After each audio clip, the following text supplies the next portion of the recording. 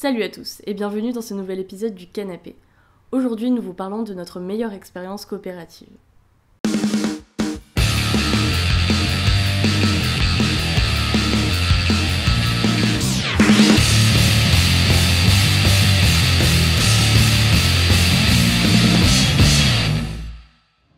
Borderlands 2 est un jeu de tir à la première personne doté de mécaniques de jeu de rôle. Développé par Gearbox Software et édité par 2K Games, cette suite de Borderlands sort en septembre 2012 sur Xbox 360, PS3 et PC. Vous y incarnez un chasseur de trésors à la recherche de l'Arche du Guerrier, une mystérieuse porte interdimensionnelle renfermant des trésors. Notre aventure commence lorsque quatre chasseurs de l'Arche se retrouvent à bord d'un train piégé par le beau Jack, le méchant charismatique et emblématique de la série depuis cet épisode. Le beau Jack, ou Handsome pour les puristes, est le président d'Hyperion, une société régnant sur la planète tel un régime autoritaire, et dont le quartier général est une gigantesque station spatiale orbitant autour d'Elpis, la lune de Pandore, pareil à un gigantesque œil dans le ciel. Handsome donc fort le sol de Pandore afin d'atteindre avant quiconque l'arche dans laquelle il espère trouver de l'éridium, une ressource mystérieuse et aux capacités surpuissantes. Après l'explosion du train, le personnage choisi par le joueur se réveille au milieu de la glace où il est accueilli par Claptrap, le robot mascotte pénible et hyperactif. Si vous lancez le jeu en coopération, votre personnage ne sera pas le seul survivant. Et c'est dans ce cas précis que le jeu prendra tout son intérêt. Borderlands 2 est un jeu particulièrement appréciable pour l'expérience coopérative qu'il propose. Vous pourrez affronter les dangers de Pandore à 4 en choisissant parmi 6 personnages disponibles. Le premier, Salvador, est le défourailleur, et sa compétence spéciale lui permet de manipuler deux armes en même temps, afin de déclencher une pluie de balles sur ses ennemis. Dans une partie coopérative, il fait le plus souvent office de tank. Le second personnage jouable, Maya, est une sirène. Son pouvoir lui permet d'hyperphaser dans d'autres dimensions, ce qui, en jeu, se résume à emprisonner un ennemi pendant un court laps de temps, faisant ainsi de lui une cible facile pour toute l'équipe. Elle fera le plus souvent office de soigneuse. Troisièmement, Zero, un ninja capable de se rendre invisible. Particulièrement efficace au corps à corps et au fusil de précision, il sera le personnage le plus furtif de l'équipe. Enfin, Axton, le commando, capable de déployer une tourelle afin de multiplier ses dégâts ou d'occuper les ennemis tout en économisant ses munitions. C'est un des personnages les plus polyvalents et les plus faciles à utiliser puisque sa compétence d'action lui permet de s'épargner la tâche de tirer. Il existe deux personnages supplémentaires, ajoutés dans le jeu plusieurs mois après sa sortie grâce à des contenus téléchargeables. La première, Gage, est une nécromancienne capable d'invoquer un robot dévastateur, piège mort. Elle est particulièrement orientée vers un style de jeu bourrin et tout aussi facile d'accès qu'Axton, grâce à son robot permettant de causer des dégâts sans se battre, et à ses compétences permettant notamment de faire écocher les balles perdues. Enfin, Krieg, le sadique, est le dernier personnage jouable du jeu, et sa compétence d'action lui permet de rentrer dans un état de rage et de foncer dans le tas en défonçant tous les ennemis sur son passage. Bien évidemment, puisque le jeu comporte un aspect RPG, il est possible de monter des niveaux et d'améliorer les compétences de ses personnages. Une équipe soudée et aux builds complémentaires pourra sans problème affronter les pires dangers de Pandore. On peut alors, à des niveaux très élevés, obtenir des combinaisons particulièrement violentes de capacité. Ainsi, ma sirène de haut niveau peut hyperphaser un ennemi. À ce moment-là, tous les ennemis dans les parages seront attirés par un vortex vers la bulle d'hyperphase, puis la bulle enverra des vagues d'acide, de feu, de slag et d'électricité sur toutes les personnes assez proches. De plus, l'ennemi hyperphasé ne sera pas paralysé, mais se battra à mes côtés, et s'il meurt, toute l'équipe récupère de la santé, et la bulle se jette sur quelqu'un d'autre. En bref, de quoi faire un combo impressionnant et un grand brin de ménage. De toute évidence, Borderlands 2 a pour objectif d'être ultra fun. Et c'est un pari réussi puisqu'à l'heure actuelle, c'est sans aucun doute le jeu sur lequel nous avons passé le plus de temps en couple, avec 4 jours de jeu cumulés. Je suis absolument accro à Borderlands 2. Pour tout dire, je l'ai même acheté trois fois. La première fois, c'était sur Xbox 360 pour le découvrir, et ensuite je l'ai racheté sur PC pour faire des LAN avec des potes. Et quand il est ressorti sur Xbox One avec un coop local à 4, j'ai pas pu refuser quoi. C'est dire à quel point j'adore ce jeu, et à quel point je suis un putain de pigeon. Tout comme le précédent épisode de la saga, Borderlands 2 brille par son univers. Les graphismes sont léchés et les musiques sont toutes absolument sublimes. Mais la grande force du jeu reste encore son humour. Si le premier Borderlands proposait quelques blagues bien placées et des personnages hauts en couleur, cette suite est un condensé de situations délirantes et de fou rire. Saloperie de porte verrouillée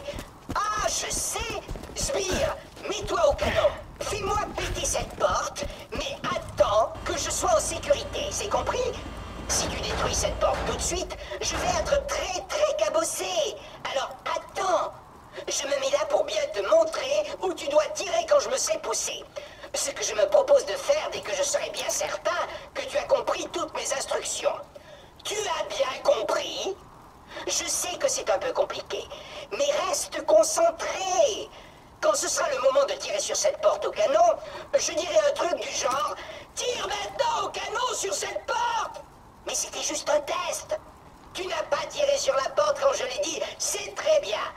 Tire maintenant au canon sur cette porte Oh, un autre test Je suis vraiment fier de toi, Spire. Enfin, je m'impatiente un peu. Tu veux bien tirer sur cette porte, oui Handsome Jack, notre antagoniste donc, nous parlera tout au long du jeu à travers notre système Echo. Entre quelques menaces et insultes bien placées, le personnage devient tout aussi drôle qu'il est ignoble. Je me creuse la tête pour trouver un nom à ce bonnet en diamant que j'ai acheté. J'avais pensé à Face de paix en ton honneur.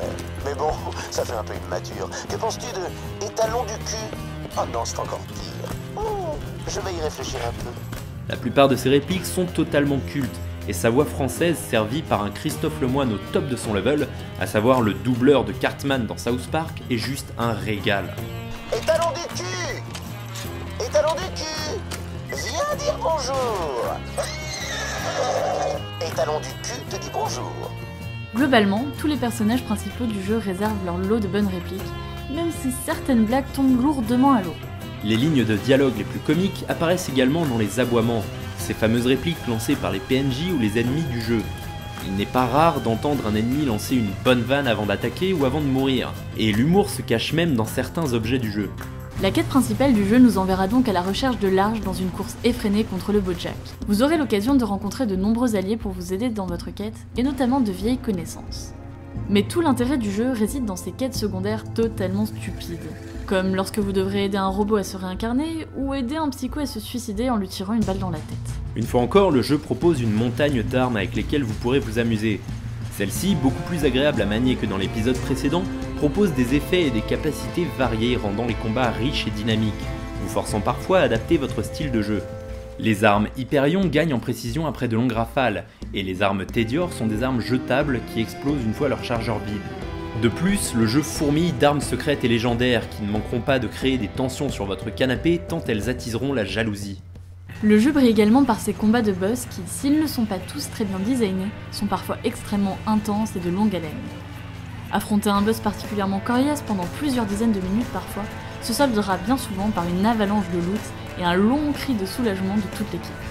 Le jeu se reposant fortement sur un système de récompense permanente du joueur, on se sent parfois submergé de félicitations à la moindre action entreprise. Entre les armes qui pleuvent à foison, l'éridium, l'argent, l'expérience ou encore les points de brutasse, chaque minute de jeu sonne comme une micro-victoire, une mécanique rappelant fortement le monde du MMORPG. Les points de brutasse sont une nouvelle mécanique particulièrement intéressante. Le joueur se voit attribuer des défis tels que tuer tant d'ennemis, ramasser tant d'objets ou utiliser telle ou telle arme. Ces défis font gagner des jetons permettant de gagner des petits boosts. On pourra alors gagner des pourcentages de dégâts supplémentaires ou de santé et autres petits bonus non négligeables. Ces boosts sont liés au profil du joueur et se répercutent sur tous ses personnages. Une mécanique qui se révèle donc particulièrement intéressante dans un système de jeu se reposant à ce point sur les mathématiques et les statistiques. En effet, Borderlands 2 met particulièrement l'accent sur les chiffres, chaque dégât s'affichant à l'écran lorsque vous touchez un ennemi, et chaque donnée de jeu étant indiquée par une quantité ou un pourcentage. Certaines compétences d'action augmenteront vos pourcentages de dégâts sous certaines conditions ou pour certains types d'armes, et il en va de même pour tous les autres paramètres de jeu, ce qui invariablement poussera le joueur à chercher les situations de performance optimales. Pour prolonger votre expérience, une armée de DLC est à votre disposition. Le capitaine Scarlett et son butin de pirates vous emmènent dans un monde fait de déserts et de bateaux volants aux allures d'oasis. Vous y affronterez des pirates et découvrirez un scénario bien écrit et au dialogue hilarant. Grosso modo, tous les DLC sont de la même trempe, proposant de nombreuses heures de jeu supplémentaires aux qualités indéniables. Le carnage sanglant de Monsieur Torg vous emmène dans un univers très rock'n'roll, à base de motards et d'explosions. Et si la chasse au gros gibier de Sir Hammerlock est sans doute le moins rafraîchissant des quatre, le dernier, Tiny Tina et la forteresse du dragon remontent aisément la barre tant il est original et fun en vous propulsant dans un jeu de rôle médiéval fantastique évoluant au fil de la narration. Et comme si tout ce contenu ne suffisait pas, des mini-missions supplémentaires ont été ajoutées au jeu, notamment Halloween, Noël ou encore la Saint-Patrick. Au nombre de 5, ces niveaux nommés chasseurs de tête abandonnent totalement toute cohérence et vous proposent simplement de gros défouloirs, encore une fois bourrés d'humour. Si je suis totalement objectif, Borderlands 2 n'est pas le meilleur jeu de tous les temps. Il possède quelques gros défauts tels qu'un rythme plutôt lent, des quêtes FedEx venant ralentir l'histoire aux moments les plus intéressants et des pics de difficulté plutôt mal gérés. Pourtant, ça reste ma meilleure expérience de jeu. Et la mienne. Et la question est donc de savoir pourquoi. C'est ce que j'appellerais le syndrome Very Bad Trip. Je pense qu'une œuvre, un film, une musique ou un jeu est apprécié dans son contexte. La première fois que j'ai vu Very Bad Trip, je l'ai vu avec des amis, enfoncé dans un canapé, avec une pizza et des bières. Et ça a été une super expérience, tout le monde s'est bien marré on a passé une bonne soirée. Quelques mois plus tard, j'ai revu le film seul, sur mon ordi portable, dans le noir et allongé dans mon lit. Et tout à coup, le film m'est apparu comme relativement lourd et ennuyeux. Notre expérience de Borderlands 2 est totalement influencée par notre contexte de jeu. Nous y avons joué en couple et c'est principalement notre expérience de la coopération qui a rendu la partie aussi cool. Aussi loin que je cherche dans ma mémoire, mes meilleurs souvenirs de jeu ne sont pas les parties solo que j'ai pu faire, mais les soirées de pyjama sur Halo quand j'étais gosse, les après-midi chez des potes à jouer à Mario Kart, et Borderlands 2 autour d'un chocolat chaud aux côtés de ma femme. Au final, le scénario de Borderlands 2, c'est celui des chasseurs de l'arche qui affrontent le Bojack. Mais pour moi, l'histoire de Borderlands 2, c'est celle que nous avons créée en jouant. C'est ce moment où j'ai conduit la voiture dans un ravin parce que je ne regardais pas la route. C'est ce moment où on a décidé d'affronter un boss avant d'aller se coucher et qu'on y est resté jusqu'à 3h du matin. C'est la soirée qu'on a passée à chercher des codes chiffres sur Twitter pour gagner de nouvelles armes parce qu'on se sentait bloqué. Ce sont les privés de jokes et les références qui nous sont restés. D'ailleurs, je pense qu'une grande partie de l'humour du jeu qu'on vous a tant rabâché ne vient pas toujours des dialogues. Les moments les plus drôles que Borderlands 2 a eu à offrir, ce sont ces moments dans lesquels les designers nous offraient les outils pour nous amuser et où nous nous sommes fait rire l'un l'autre. Borderlands 2, c'est juste un rendez-vous. Un jeu sur lequel on sait qu'on peut se retrouver et s'amuser tous les deux, dans un monde qu'on maîtrise et qu'on arpente ensemble depuis un bon moment. Et je pense que, pour certains jeux, l'aventure ne se passe pas sur un écran, mais sur un canapé. Wow, wow, wow, attendez, attendez. Ça fait 6 mois qu'on n'a pas fait d'épisode du canapé. On va quand même pas se barrer comme ça. Vous reprendrez bien un petit peu de canapé. Le dernier jeu en date de la saga Borderlands sort en octobre 2014 sur PS3, Xbox 360 et PC. Étant une séquelle à Borderlands et une préquelle à Borderlands 2, le titre est subtilement baptisé Borderlands de pré-séquelle. Et d'ailleurs pour la petite info amusante, le terme exact est interquel. Niveau scénario, le jeu nous met cette fois-ci en contrôle des bad guys et suit la montée au pouvoir de Handsome Jack, nous permettant de découvrir des facettes plus humaines, mais également plus manipulatrices du désormais célèbre méchant. Nous nous retrouvons donc sur Elpis, la lune de Pandore, et tout cet épisode tournera autour de l'espace. L'épisode offre une écriture encore plus fine que celle de l'épisode précédent, et les quêtes, principales comme secondaires, font un grand effort de variété en offrant des situations drôles et inédites. Niveau gamefeel également, le jeu propose des combats encore plus nerveux, notamment grâce à deux nouveaux types d'armes, les armes laser et les armes de glace. D'ailleurs, une grande partie du jeu se situant dans des environnements sans atmosphère et les ennemis portant donc des combinaisons, il est possible de briser le scaphandre d'un ennemi afin que celui-ci soit gelé par le froid de l'espace ou qu'il s'asphyxie. Malheureusement, le cadre lunaire, bien qu'original, apporte son lot de soucis.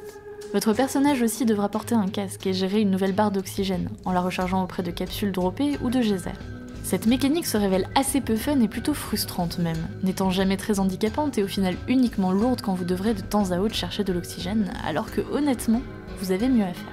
Si l'envie de perdre votre temps dans les environnements du jeu est aussi peu alléchante, c'est parce que les paysages lunaires sont incroyablement fades, vides et répétitifs. La plupart des zones se suivent et se ressemblent, et on en vient à remercier le jeu quand il nous envoie enfin dans un vaisseau ou un complexe pour briser cette monotonie. La faible gravité apporte son lot de surprises plus ou moins attrayantes. Et si les déplacements donnent une impression laborieuse, les sauts de géant, la possibilité d'utiliser un jetpack et la verticalité de certains affrontements offrent un vent de fraîcheur à cet épisode. Et un vent de fraîcheur, The Pré-Séquel en a bien besoin. Le jeu tournant sur le moteur de Borderlands 2, les différences techniques se font rares, voire quasiment inexistantes, et pourtant, ils se révèlent bien moins amusants à parcourir. La faute sûrement à des personnages jouables assez peu charismatiques et au pouvoir objectivement ennuyeux. Si on s'amusera 30 secondes à jouer le claptrap, notamment parce qu'il n'a pas besoin d'oxygène et pour ses répliques ridicules, sa compétence d'action deviendra rapidement lourde, et il n'est pas le seul. Reste alors au jeu ses dialogues toujours aussi bons et ses personnages hauts en couleur, mais quand le cœur du gameplay s'effrite, vous serez tenté de laisser tomber la manette. Surtout quand votre minimap en deux dimensions vous perdra à cause de la nouvelle utilisation de l'axe Y par le level design. On se retrouve au final avec un gros add-on de Borderlands 2. Dépaysant de nombreux points mais qui semble tout de même moins bien fini que certains DLC de ce dernier. Ce qui reste tout de même un comble pour un jeu vendu au prix fort. Allez, histoire de lui pardonner un peu, le jeu est à l'heure actuelle trouvable pour une bouchée de pain, en bundle sur Steam et est disponible sur la Handsome Collection pour PS4 et Xbox One. Borderlands The Pre-Sequel reste tout de même un jeu fun à 4, et encore plus en local, car il faut bien se rappeler que moins bon ne signifie pas mauvais.